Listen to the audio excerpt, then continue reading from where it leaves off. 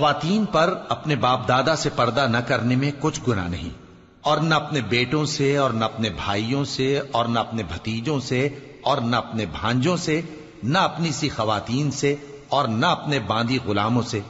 और ए खातन अल्लाह से डरती रहो, बेशक अल्लाह हर चीज़ से वाकिफ है।